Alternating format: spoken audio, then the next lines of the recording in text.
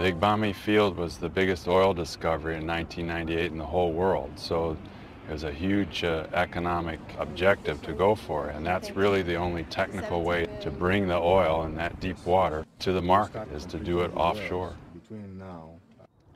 An FPSO, that's a floating production, storage, and offloading vessel. So it's like a big ship without an engine. All the oil is produced up through that vessel, and then we store the oil in there just like a crude tanker, and then we offload that oil to export tankers that go deliver the product around the world.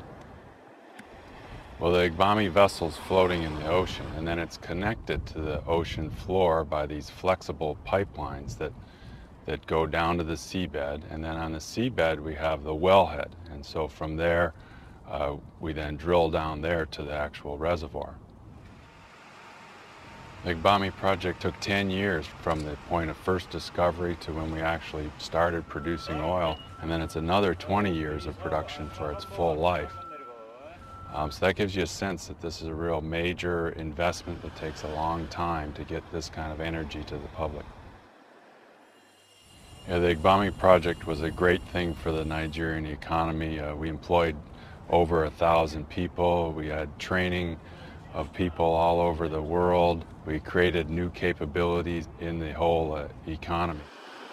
This has brought in more Nigerians into the new frontier of technology because deep water is the way we are going now.